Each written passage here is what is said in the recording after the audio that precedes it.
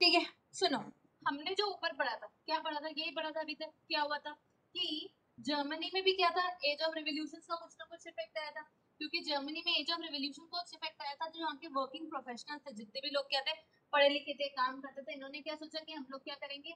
Constitution बनाएँगे। इन्होंने क्या करा खुद को ही नेशनल असेंबली प्रोक्लेम कर दिया। खुद को नेशनल असेंबली प्रोक्लेम करने के बाद क्या करी कॉन्स्टिट्यूशन बना ली देश। ठीक है ना? कॉन्स्टिट्यूशन बना ली based on constitutional monarchy based on constitutional monarchy constitutional monarchy का मतलब क्या होता है? राजा तो अपनी जगह रहेगा लेकिन अब राजा के पावर्स को हम लोग क्या कर देंगे? लिमिट कर देंगे। राजा के पावर्स अनलिमिटेड नहीं रहेंगे। राजा के पावर अनलिमिटेड नहीं रहेंगे। जैसे किंग लुई 16 के करे थे। और ये जो कॉन्स्टिट्यूशन उन्होंने ड्राफ्ट किया it was based on constitutional monarchy मतलब राजा अपनी जगह रहेगा लेकिन राजा के पावर्स अब कैसे होंगे? स्लो लिमिटेड रहेंगे। राजा के पावर्स अब कैसे रहेंगे लिमिटेड रहेंगे। लेकिन राजा को कौन राजा? फ्रेडरिच विलियम फोर्थ को ये असेंबली पसंद नहीं आई इसलिए हमने ट्रूप्स भेज दिए। क्यों भेज दिए? Troops to disband the assembly खत्म कर दिया इस असेंबली को। ठीक है क्यों राजा को ये नहीं पसंद आई थी? बिकॉज़ बिकॉज़ बिकॉज़ ये जो थी ये लोग क्या कर रहे थे? पोरर सेक्शन सोसाइटी को क्या कर रहे थे? काफ़ी हद तक इग्नोर कर रहे थे। हो नहीं थ्रेटन नहीं डिसबैंड मतलब भैया देखो या तो शांति से चले जाओ वरना जो सेना है वो तो राजा के ही पास है।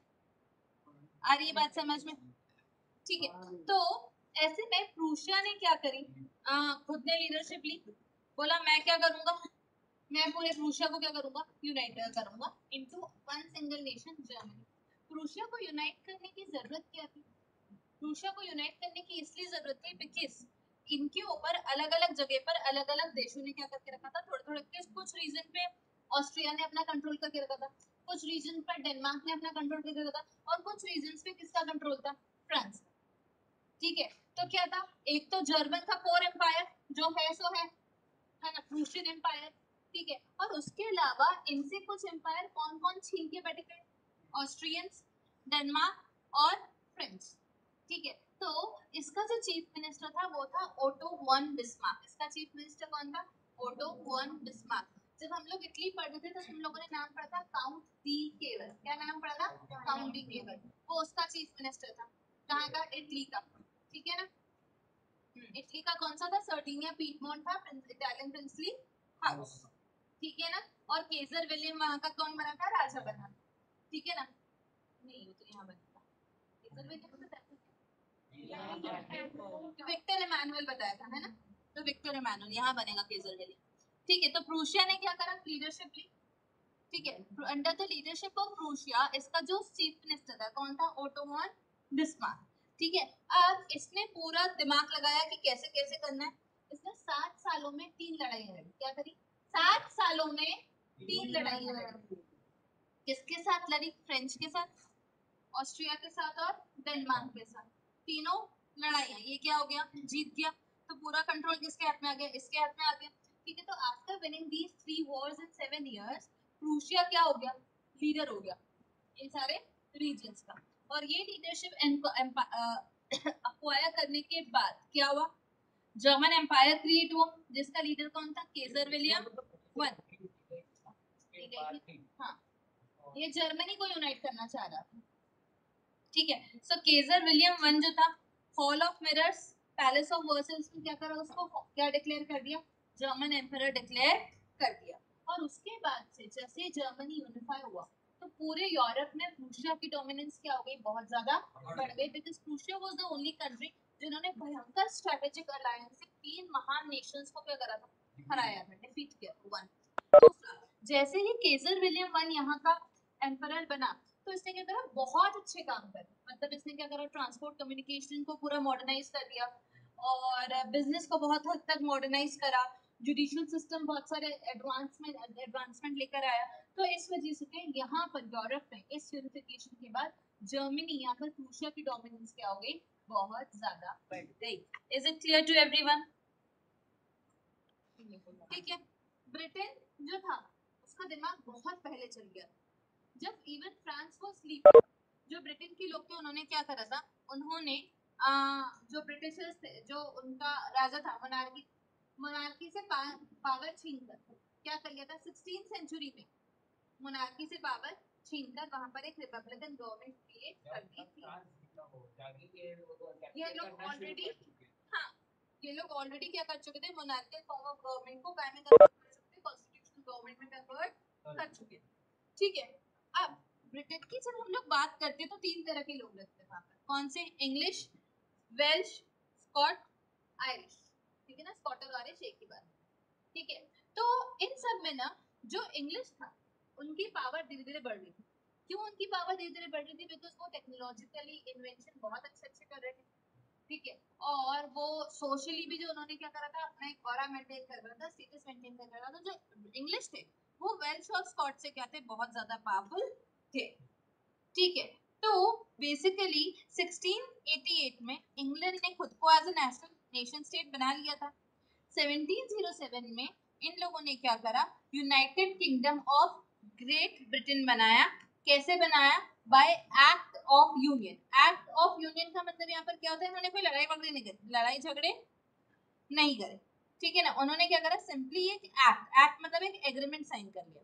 क्या कर लिया? एक एग्रीमेंट साइन उस एग्रीमेंट का नाम क्या था? एक्ट ऑफ़ यूनियन क्या था? एक्ट ऑफ़ ठीक है ना? किसके साथ साइन किया? स्कॉटलैंड के साथ। किसके साथ साइन किया? एक्ट ऑफ़ यूनियन स्कॉटलैंड के साथ। कि अब क्या है? इंग्लैंड और स्कॉटलैंड अलग अलग नहीं। ये दोनों को साथ में हम लोग क्या बोलेंगे? यूनाइटेड किंगडम क्या बोलेंगे? United Kingdom of Great Britain कौन नहीं मान रहा था? आयरिश नहीं मान रहे थे। कौन नहीं मान रहे थे? आयरिश नहीं मान रहे थे। तो इन्होंने क्या करा? उन पर बहुत छोटा सा अटैक कर दिया। इनके अटैक को, इनके अटैक को झेला भी। किसने? मतलब इनको अटैक बैक भी किया। किसने? नहीं, डरे नहीं थे। वुल्फे नाम का एक लीडर था। उसके साथ कुछ आयरिश मैन था। हाँ डब्ल्यू ओ एल एफ़ उसके कुछ आयरिश मैन थे जिन्होंने इनको क्या करा? अपोज भी किया कि हम लोग आपके साथ कोलैबोरेट नहीं करेंगे। लेकिन इवेंचुअली इनकी रेवोल्यूशन क्या हो गई? फेल हो गई। और जो आयरलैंड है वो भी किसके अंदर मर्ज हो गया? ब्रिटेन के अंदर मर्ज हो गया। और एक नया ब्रिटिश नेशन बना जिसमें तीनों कम्युनिटीज रहती थी। स्कॉट भी रहते थे और आयरिश मैन भी रहते थे। ठीक है ना? और क्या? नहीं वो बाद में आया। था ठीक है British flag union jack recognise हुआ। National anthem God save our noble king बाद में इसके बाद रिकग्नाइज हुआ और ब्रिटेन अपने आप में एक नेशन क्रिएट हो गया। Is it clear to everyone इसमें कुछ समझाने जैसा है कि समझ गए?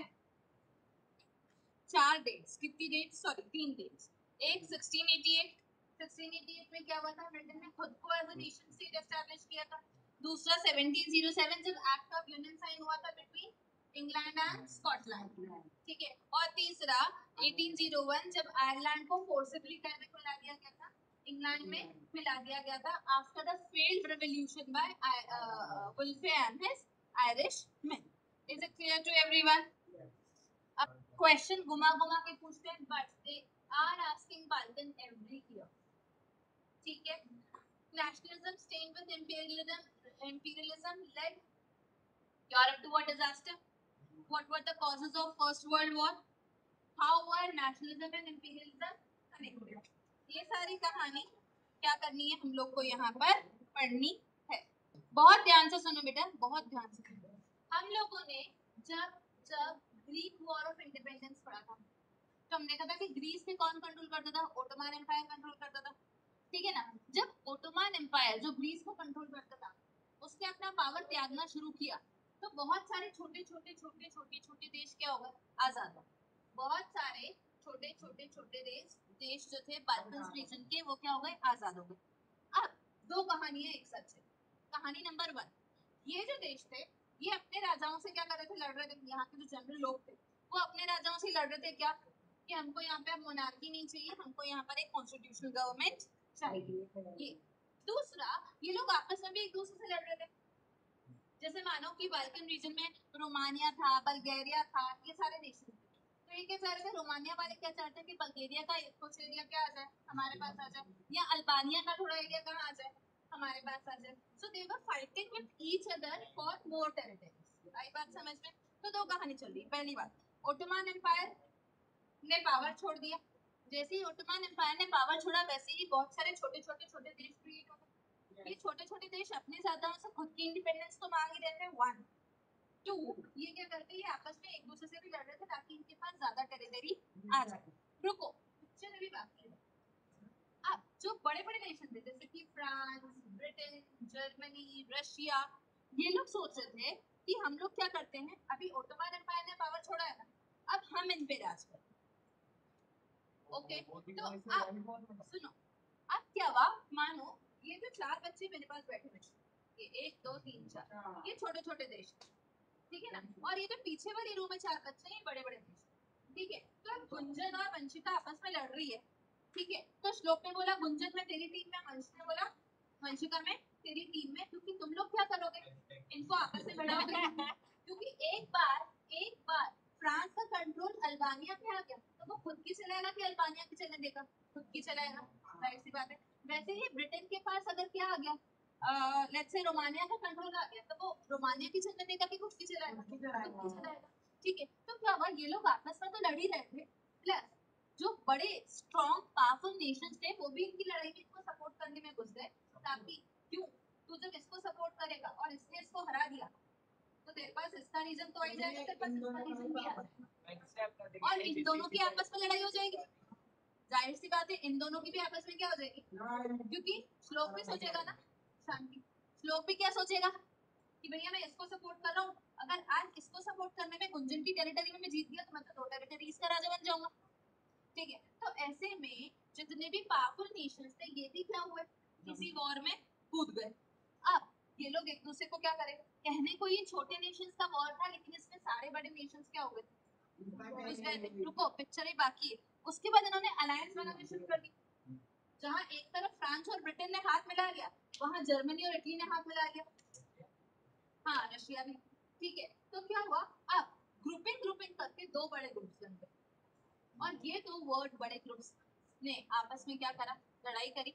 एंड दिस लड़ाई is known as what your first world war this लड़ाई is known as what first world war तो बहुत लेट आया था सेकंड वर्ल्ड वॉर क्या ये कहानी सबको समझ में आई? अब ये कहानी इंग्लिश में बता रही हूँ, ध्यान से सुनिए। ठीक है?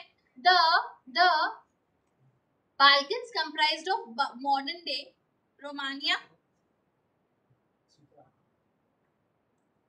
तो पहले तो बता रहे बाल्कन रीजन में कौन कौन था? Romania Bulgaria Albania Greece Macedonia Croatia Bosnia ये सारे नेशंस थे। ठीक है? The disintegration of the ruling Ottoman Empire and the spread of ideas of romantic nationalism made this area explosive explosive मतलब यहाँ लड़ाइयाँ बहुत ज़्यादा बढ़ गई थी धमाकेदार एरिया हो गया था ये ठीक है ना the European subject nationalism nationality started breaking from its control to declare the independence हर देश क्या कर रहा था अपने राजा से अपना कंट्रोल हटा के खुद को इंडिपेंडेंस डिक्लेयर कर रहा था ठीक है ना the Balkan revolutionary acts were directed to gain back the long lost independence पुरानी इंडिपेंडेंस गई हुई थी, ये क्या कर रहे थे? उसकी तरफ़ अपने अपने देश में तो रेवोल्यूशन कर ही रहे थे। Plus the Balkan states were fiercely jealous of each other and wanted to gain more territory at the expense of the other. ये सब आपस में जो स्टेट्स थे, ये सब क्या थे? एक दूसरे से बहुत ज़्यादा जलते थे। And one was trying to acquire the territory of the other. ठीक है? Plus there was intense rivalry among the European powers for over trade, colonies and naval might and military might. तो जो बड़े बड़े नेशन थे European power जैसे कि France Russia England Germany Austria इनके बीच में आपस में बहुत कंपटीशन थी किस चीज़ के लिए ट्रेड के लिए कॉलोनीज के लिए नेवल माइट के लिए मिलिट्री माइट के लिए ठीक है ना दे were keen on opposing the hold of other powers over the Balkans or extending their own area of control. खुद का एरिया कंट्रोल बनाने भी था।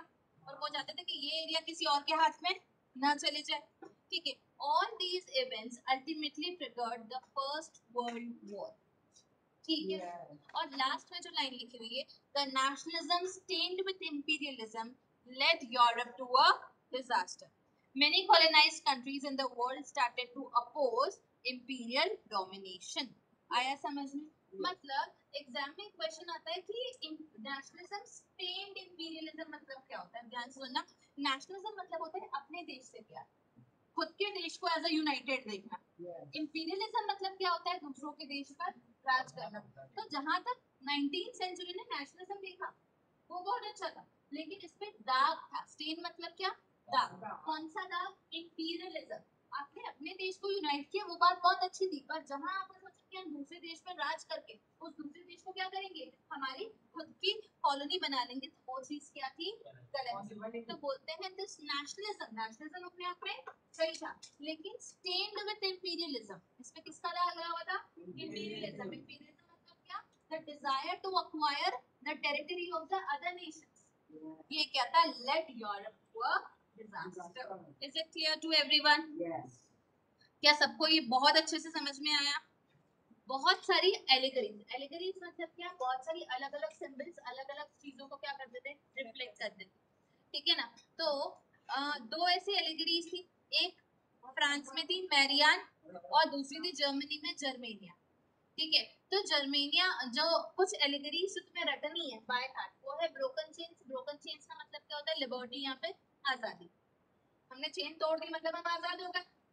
सो ब्रोकन चेन्स का मतलब क्या होता है? Liberty breastplate with eagle strength eagle अगर ब्रेस्टप्लेट पे बना हो, जो जो हमने ड्राइंग बनाई है एलिगरी बनाई वो क्या दिखा रहा है कि हमारे अंदर स्ट्रेंथ है, हमारे अंदर बहुत ज़्यादा पावर है।